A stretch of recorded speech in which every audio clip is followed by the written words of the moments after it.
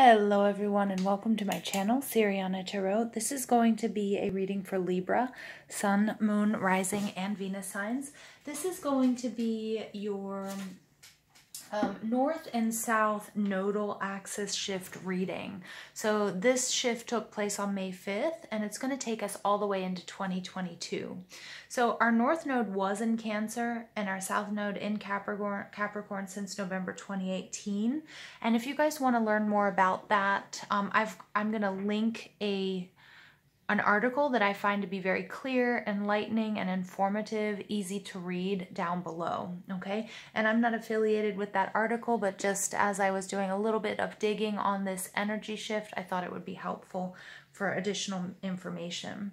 So on May 5th, the North and the South nodes shifted into Gemini and Sagittarius. So what that means is under this polarity, uh, we're moving into the realms of ideas and philosophy and moving away from, you know, those family and the feelings, um, people versus co uh, corporations, which we were experiencing during that Cancer Capricorn um, energy. Um, the South Node is in Sagittarius, so it's releasing past attachments to ideals of religion and also sort of systems of belief.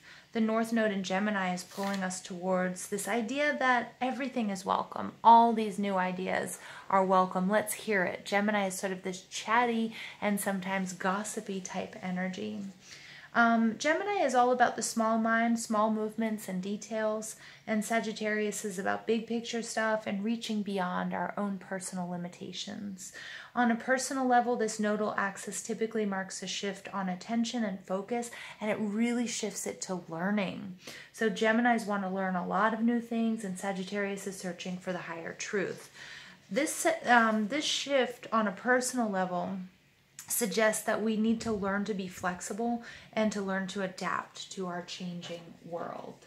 All right, so Libra, Sun, Moon, Rising, and Venus signs. Let's jump into this reading. We're going to invite spirit, angels, ancestors, loved ones who have passed, and spirit guides to this space to deliver the messages for Libra, Sun, Moon, Rising, and Venus signs.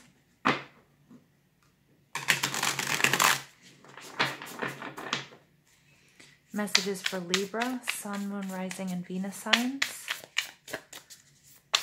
Messages for Libra, Sun, Moon, Rising, and Venus signs. Whoops.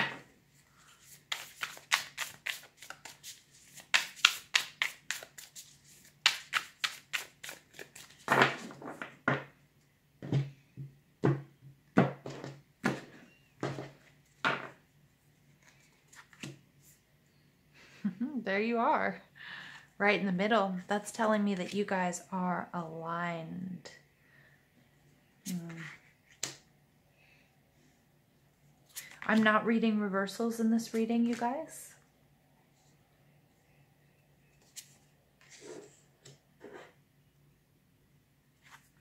Nice. Nice. And you guys come out twice in your own reading. Libra, very good. I'm very happy about this reading, you guys. Very, very happy. Your overall energy is the strength card. Some of you might be dealing with a Leo. Some of you might have Leo in your chart. Um, but this is beautiful because this is all about finding your inner strength no matter what's going on. There may be something that sort of tested your resolve and your courage, may have even had your self-esteem a little bit low, but it looks like you're stepping back into that power. Underneath that, you have the Two of Pentacles. This is all about balance. This is about a huge blessing and then figuring out, you know, how you can sort of create the balance and the alignment in your life. It could be making a choice between two people, two things, two ideas. It could also be about choosing yourself, choosing to work on you, Libra. Underneath that, we have the Three of Pentacles. This is about collaboration. For some of you, you could have been feeling a little bit down because somebody you found out that somebody put you in a third party situation. Now, we don't have to jump automatically to that being a romantic situation. It could be anything. It could be, you know, whatever relationship. It could be with a friend. It could be with a coworker.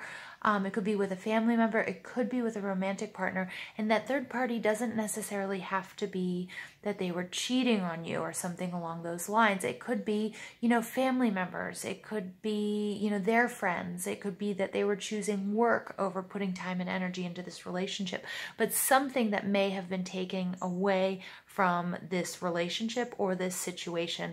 It could also be that there was a lot of gossip, that it was hard to get along with your coworkers, okay, but there was some sort of issue with collaboration and Spirit's reminder to you, Libra, is that you are the architect of your reality of your life. Here you are coming out in the reverse although I'm not reading reversals, right? is the justice card. So something that you felt was really quite unfair. But what's beautiful about this is that balance coming back, okay? I love it, Libra. I love it. I love it. I love it. I love Libra showing up. You know, and Libra, you guys are also about finding that balance. So seeing, you know, the lion and the lamb, seeing both sides, the shadow and the light, weighing the pros and the cons. So I think this is a very nice message. Um, just looking at these cards, Libra, it's really pretty awesome. So you guys are showing up as the Queen of Swords. This is your energy. This is air energy. And the Queen of Swords is somebody who's been through a lot. She's very cerebral. She leads with her head over her heart. She's a very tough lady. She's someone who isn't going to take much BS. She's going to tell you exactly like it is, not what you want to hear. She's not going to sugarcoat things for you you. She also sees the big picture. Okay, she sees the big picture. Again, she's been through a lot. She knows what she's talking about. This could be a feminine energy. It doesn't have to be gender though, but that, that works in the judicial system or works as like a police officer or some something having to do with the law. Okay, because we did also have that um, your sign of justice coming out. Um, or it could just be somebody where you're thinking about morals and ethics and you're going to behave, you're going to speak your truth and, you know, and stand in your authenticity, which I absolutely love. Now, you guys have the moon card in your surroundings. Some of you might be dealing with a Pisces, um, or you just might be dealing with something that was previously unclear has now come to the surface. You've gained some sort of clarity. Now, immediately when I pulled this card, I thought Scorpio full moon. We just went through the Scorpio full moon. This is all about mysteries, digging deep, you know, getting to the bottom of things. And I see that that brought you really great clarity, especially after some, after being a bit confused and feeling like you were in a, you know, a little bit of a nightmarish situation. What's blocking you is the chariot. You might be being blocked by the by a cancer person. Um, the chariot card, though, is also, I just got that maybe some of you might have a language barrier, something that needs to be translated or interpreted. Um, for others of you, it's distance. It's like not being able to travel so you feel like this situation could be resolved if you could just see this person. Remember, you can flip the energies in this reading if you want. Um, so it could be that somebody wants to come and see you, but because of these travel restrictions that we're experiencing right now, well, you know, they can't. All right. So somebody's here is being blocked by by by travel, by movement, or by like interpretation, language interpretation. I'm even getting, I just saw deaf um, American Sign Language. Interesting. Okay, something having to do with speech, something having to do with somehow communicating and like bridging that gap. Some of you might feel like, you know, maybe again, it could be something as simple as your car broke down and you can't get to work. Okay, and this is what's blocking you, but there's something having to do with travel, something having to do with movement and or a cancer person. Now, in the foundation of the situation, and your foundation is temperance, this is that Sagittarius energy. So remember, we are sort of leaving behind that Sag energy, you know, this sort of attachment to um, or this attachment to um, to ideals and systems of belief. So you're having these sort of paradigm shifts in how you give and how you receive information. Temperance is the messenger. It's usually in the regular Rider Waite decks is based on the um, archetype of Iris, who is a messenger of the gods. So again, prayer and meditation, communing with source in order to, you know, I feel like you've been doing that a lot. This is also a card of healing and finding balance and moderation. Okay, so that's what's driving you, this, these unconscious forces that are driving you. It's also all about alchemy, so it's about blending, and we saw that coming up in your overall energy. How are you going to blend the sun and the moon, the light and the dark? Okay, how are you going to transmute energy? How are you going to take something negative and make it positive?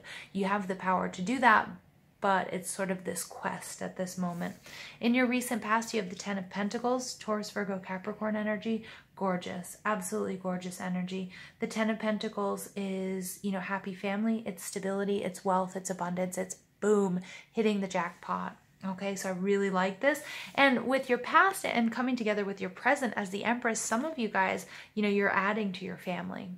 Okay. For others of you, you know, this is marriage and gaining that stability and then finding that person, you know, calling in the person, that perfect life partner, the person of your dreams. I love what's, you know, I love what's in front of you and what's behind you um, Libra because it's all really positive and you're just kind of flanked by like two of these amazing cards in the tarot. What you're thinking about, what's coming from above, we have the Queen of Pentacles, Taurus, Virgo, Capricorn energy. Um, this is nurturing. This is all about investing. Uh, again, for some of you, this is definite pregnancy. This has to do with pregnancy. Okay, because the Queen of Pentacles, you know, she has that seed, she has this coin, she's going to nurture it, she knows when to plant it, she knows, you know, so some of you are going to be finding out that you are, you know, that you or your partner are with child. Um, again, you might be adding to your family or you just might be making a dream come come true. For others of you, it's not a literal pregnancy. It's like the creation of a job or a partnership that's going to be fruitful. It's going to bring you success. It's going to bring you abundance. It's bringing you what you've been asking for. The Queen of the Queen of I was going to say the Queen of Pawns. That's weird the Queen of Pentacles, like, you know, like pond, like a little lake. The Queen of Pentacles, you know, she is definitely, this is an approving energy. Um, you know, she's this queen of the forest. She's fertility. Um, she's communing with nature. She's balancing. She is not afraid to roll her sleeves up and get her hands dirty. She works with that sort of natural medicines, earth magic, um, you know, it could be that this is, you know, this is your very, you found your, your ultimate earth mama, okay, or papa or whatever it might be. But the Queen of Wands is, uh, I, can't, I can't believe I keep saying that, the Queen of Wands. There's a reason I keep making that mistake because I don't really see any Wands energy here. Queen of Wands remembers fire sign, Aries, Leo, Sag. So some of you might feel like you're the Queen of Wands. Some of you might have to make a decision between two people. But the Queen of Pentacles here is you know, she's she's prepared to wait for her abundance. She knows that it's not going to happen overnight. She knows that, you know, it's going to take time and nurturing and planning and taking it step by step and really, you know, it's like growing a little potted plant or something in your garden, checking on it. Does it need more water, less sunlight, etc., etc. So it's a really good energy Libra that I think that, you know, you're you're thinking about all of these things. And in your outcome position, you get the Empress it's absolutely gorgeous. This is your energy, Libra and Taurus energy. This is things coming to fruition. This is everything you touch turns to gold. This is somebody who's just so peaceful. This is somebody who doesn't have to get off her throne. She can attract anything she wants. All she has to do is think about it, smile sweetly, boom, snap her fingers. It's right there. Okay, so it's gorgeous, Libra. Beautiful energy, and it's all about beauty. It's all about Venus which is your energy. Okay, so I think you guys are feeling quite comfortable. Uh, remember, we are in Venus in retrograde. I have put those readings out for individual signs, sun, moon, rising, and Venus signs. So please check those out. Some of you might have somebody returning. Okay, your Ten of Pentacles might become in background, you know, just for a little bit more abundance, right? a little bit more beauty, a little more happiness.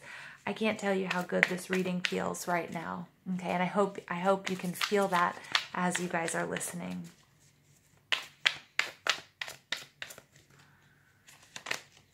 All right, emotional loss. Um, I'm getting here, some of you might have been trying for a child. You may have, that pregnancy may have been, you might have lost that, that child some of you just might have been trying and trying and, and you just felt like you would, it was never going to happen or that you know that it was over that this wasn't going to happen. And it looks like you know there's a miracle coming in here.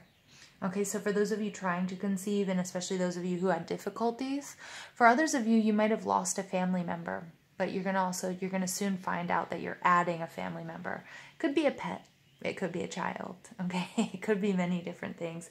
For others of you, you guys have suffered quite a bit, okay? But I really feel like you're clearing that heart space. You're getting a lot of clarity, okay? you do have to move past this chariot and, and i kind of don't like this chariot energy here as your block because the chariot is a major opponent so it's not going to be easy for some of you it's going to be moving past pa- moving past previous hurts and disappointments okay and it's and something that might have really taken your self-esteem. But you're going to do it. It's just you know it's a formidable opponent the chariot. It's also the need to to be a creative problem solver because in ancient you know rome and whenever we used to use chariots you couldn't you can't hit the problem. You can't hit it direct straight on, right? And like a crab, they move back and forth, Cancer energy. You might have to sort of go a roundabout way of solving it or think of some sort of creative solution because chariots had to come up against each other from sides. You know, they couldn't run, hit each other straight on. Okay, so it's, it's, you, I think there's a little bit of creativity, perseverance that's going to be needed here because it's a strong block. Okay, but it's definitely doable. And then you get the shadow. Yeah, I mean, look at this. This is this is pretty cool energy because you get the moon card coming out twice, okay? But what I really like about this is we have this temperance card and look at that. Look at how they mirror each other. You and your partner might be mirroring each other, okay? Or somebody in this, whoever this, whoever's involved in this situation with you um, again, I think you're really finding the balance between the light and the dark, and that might even be within. Okay, something again, this emotional loss that you've experienced, you might have found yourself in a dark night of the soul. You might have found yourself just really sort of in these deep, dark depths. And that would make sense with that scorpionic energy we just went through, doing some shadow work. Okay, but remember, moving through fear is a beautiful thing because there are always rewards on the other side. Okay. And then you get movement, choices, and decisions, the Two of Pentacles. Again, we saw that coming out in your overall energy. There's There are a lot of double confirmations in this reading. Finding balance. You know, and if we look here, the Temperance card, it looks like those Two of Pentacles that we normally see being juggled, okay? Um, so, it, you know, this is all about really what is it, where is your focus going to be? Is it going to be on what you've lost? Okay, is it on the shadow work or is it time to come out and step into the sun? I really do see it being the latter. Okay, stepping into the sun. And shadow work is necessary, right? We can't have ebbs without flows. We can't have highs without lows. We can't have, you know, ups without downs. You know, keep going with the metaphors. Mm. And then you get transformation, scorpionic energy. Again, I saw it in the moon card and I was actually looking at it here on the Empress.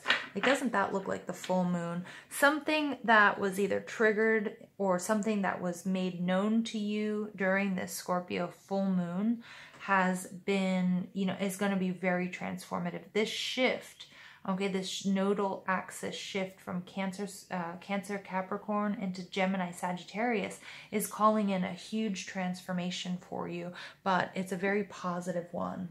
Okay, so I'm going to pull additional cards for Libra, Sun, Moon, Rising, and Venus signs.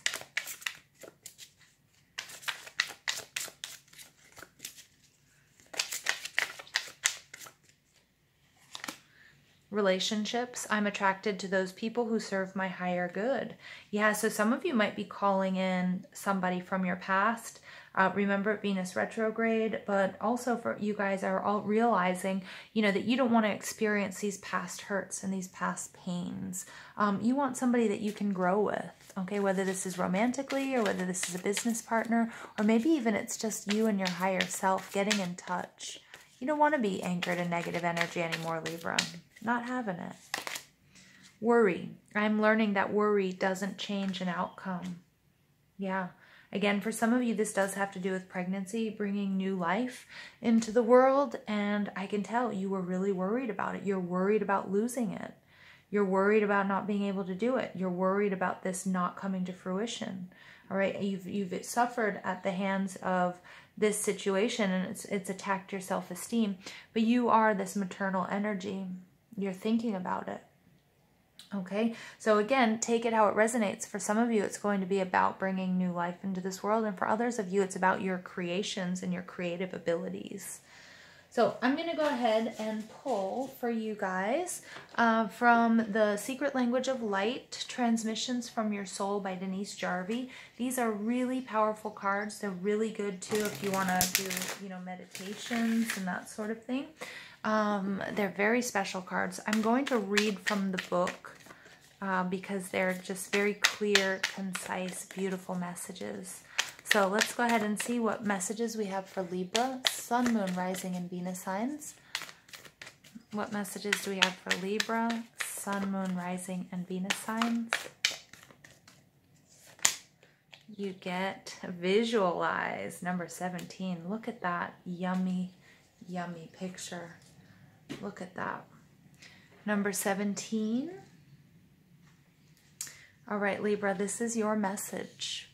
Your imagination is a magical superpower that develops the content, look, and feel of your life. You can use your inner vision to maintain or transform anything in your life. Visualization helps us to create a dream life without the perceived boundaries of the manifested world. To take your dreams out into the world, recall your vision of them as you meditate. Let the dream become a feeling that leads to a knowing that is so deeply ingrained it will become an automatic response. Through repetition, this response gains momentum toward the tipping point between vision and manifestation.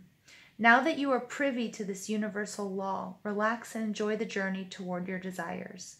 When a desire manifests in your physical life, a new desire will be born. Yes.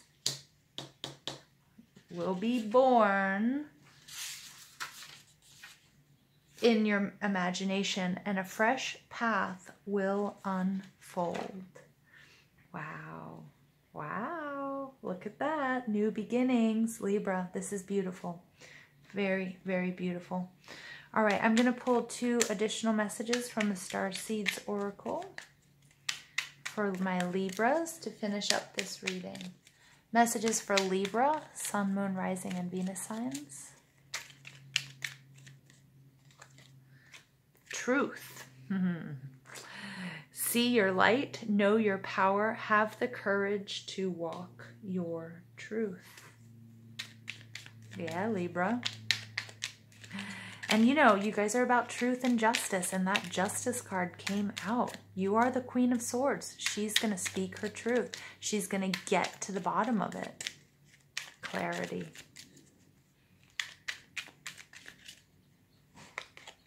Observation. Expand your consciousness by observing the divine matrix of the life. I can't speak today or read. Expand your consciousness by observing the divine matrix of life. Sorry about that. All right, you guys. So please, please don't anchor yourself in worry. Remember, worrying doesn't change or help the situation, but you have the power to manifest what it is you need. Visualize it. Start visualizing this energy, and you can create that new path through your imagination. Okay, I love you guys so much. Please don't forget to give this video a thumbs up, hit that subscribe button, comment, share, ring that notification bell. But most of all, I want to thank you for all the love and support that you show this channel, and I hope you have an absolutely beautiful day. Take care.